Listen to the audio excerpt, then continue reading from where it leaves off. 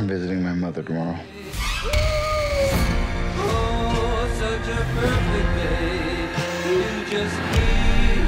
I'm supposed to be leaving. I don't know if that's gonna happen.